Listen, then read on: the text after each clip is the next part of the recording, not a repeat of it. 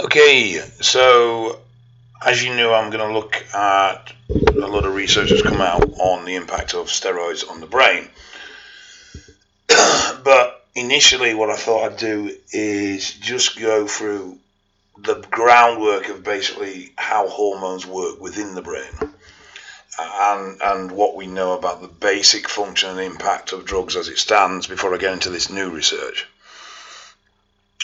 Now, all our sex hormones, so that's testosterone, estrogen, and progesterone, can cross the blood brain barrier or the BBB.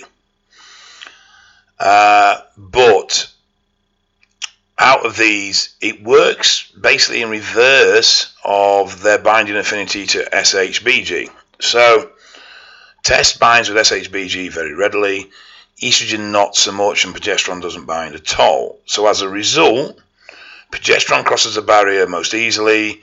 Secondly, is estrogen, and finally is test. And, and basically, that's because it's bound with SHBG. Test free floating test will cross quite easily, but once it's bound to SHBG, it doesn't cross the barrier so well.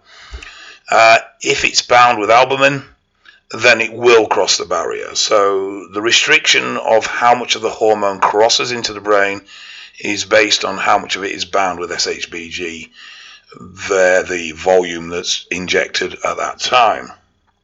I've made notes because this is complex. Now we know that steroids affect levels of brain amino acids.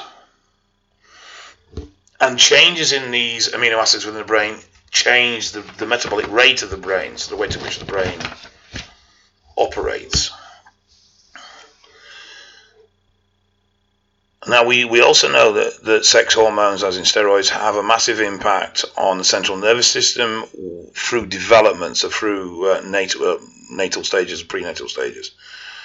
But we don't really know too much about its impact immaturity. Um, we know it can cause fatigue, um, but but beyond that, at the moment, from what I'm finding, there isn't much beyond that. We know that heavy metal contamination within UGL steroids has a negative impact on the central nervous system.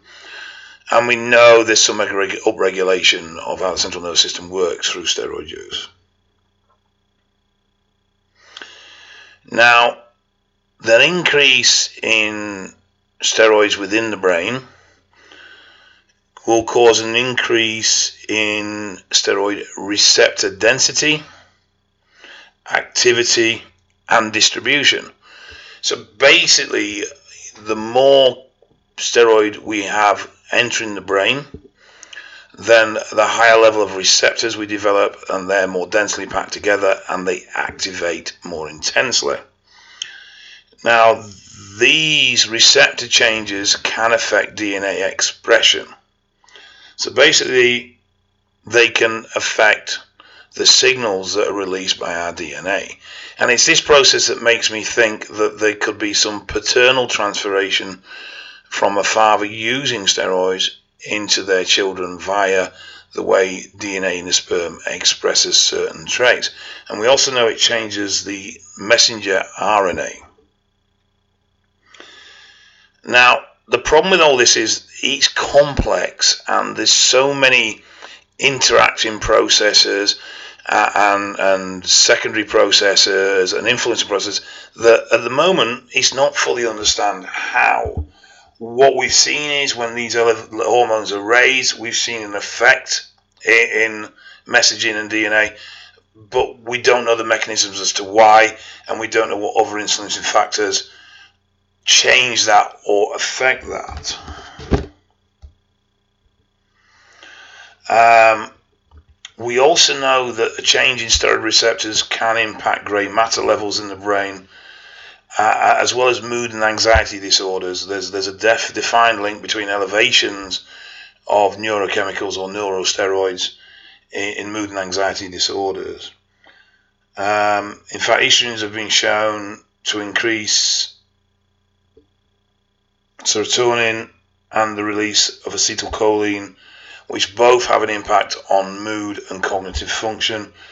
Uh, serotonin on mood and acetylcholine on cognitive function, so basically how intelligent we are. Uh, we've also know that an increase in neuro. Oh bollocks! This is one of these I can't say. Neuropinephrine. I think that's right. Uh, turnover affects our attention levels, and these are all changed by increases in um, steroid receptor density within the brain. We also know there's an impact on the D1 receptor, which can cause an increase in um, obsessive and addictive behavior, so OCD type behaviors.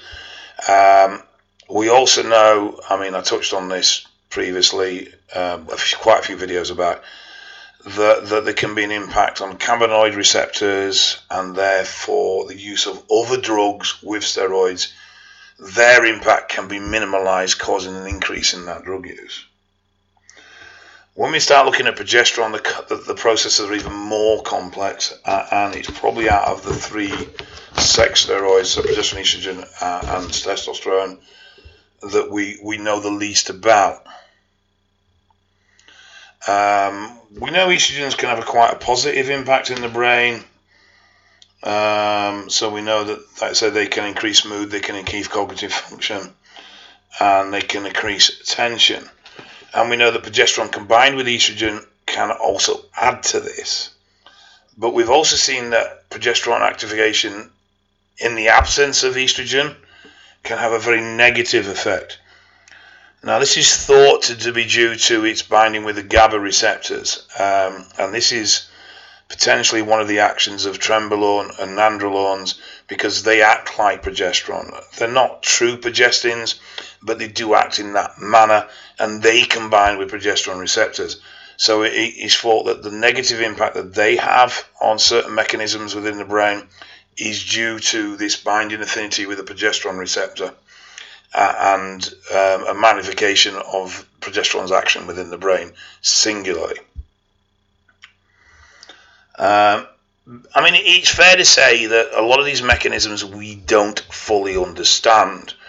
We we know that changes occur when these levels are increased, and we know some of the routes at which that happens, or, or some of the areas which are affected, but we just don't know fully what's going on.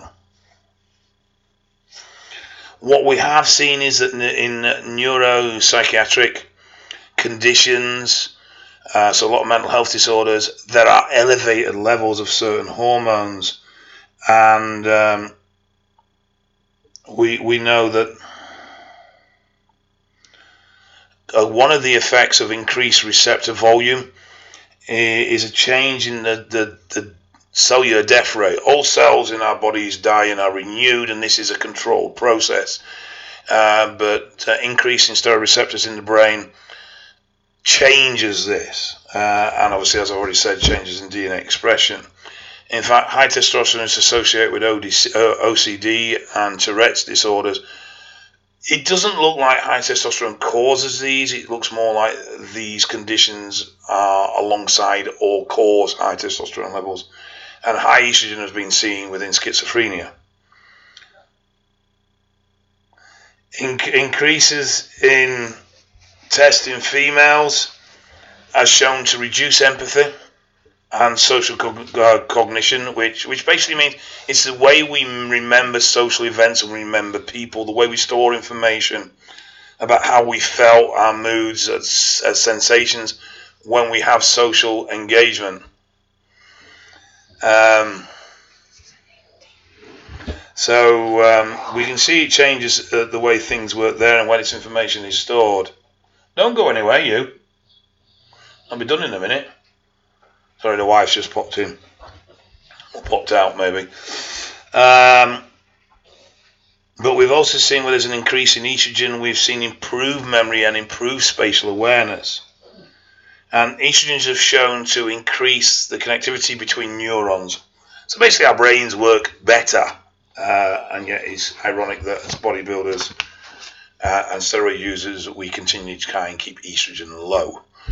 Um, so, you know, these drugs have a massive impact on the way our brains work, um, both massively in the way they develop. In fact, you know, levels changes in these levels are shown to really very much change the shape and the way our brain develops it in in through childhood uh, and within the womb.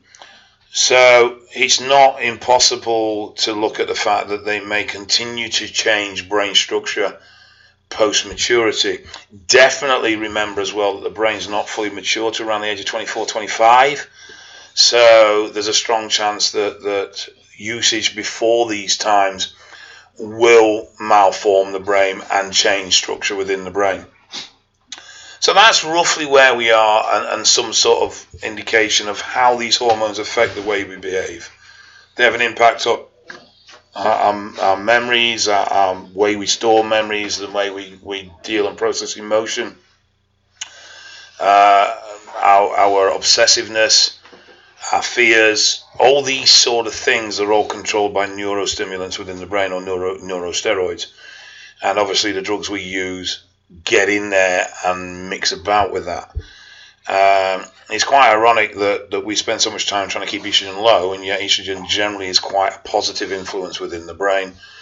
Um, but hey ho.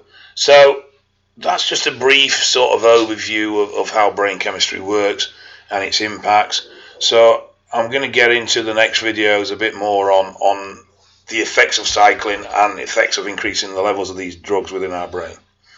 Okay, so I'll speak to you guys soon.